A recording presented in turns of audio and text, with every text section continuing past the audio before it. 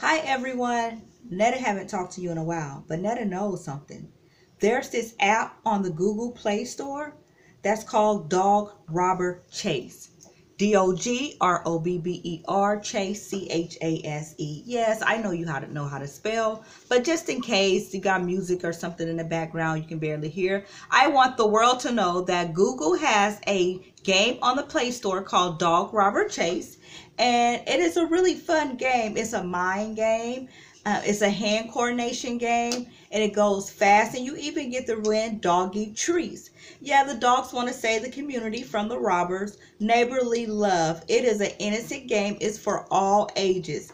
I do ask parents to monitor their child playing the game because there's apps ads on the end of the game. It's not ads all the way through the game. You know how some games you go, you play, and then like the first 10 seconds, there's another ad pop up, then another ad pop up. No, these ads is really innocent ads, and it's also at the end of each level.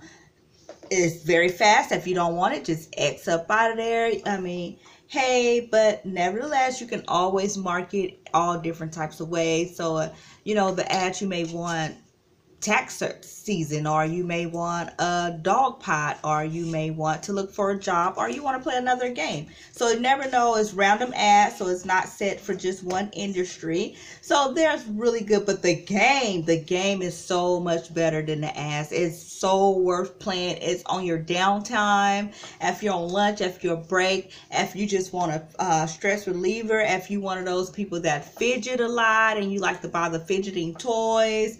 It's really good good for that. You know, it helped with autism. You know, it, it's it's just mind and eye coordination.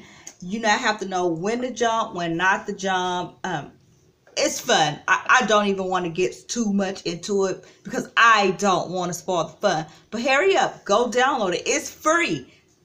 It's free, no harm. Only thing you're spending is the megabytes using because you're not spending anything. You're just using the megabytes that's on your phone for just a little bit of app that's going to really be fun for you, the family, your co-workers, even your boss will play it. It's like, oh, this, yeah, this game is really good game to all my downtown or when you're at the nail shop or even if you're at the hair salon males if you at the barber shop. Hey if you're standing in line to pay a bill at walmart because you know walmart lines be long especially the check parts the bill pay part. Just stand there and, and, and play the game and for you know it you at the front. Thank you. Hope you like this video until next time stay up and remember we all as people matters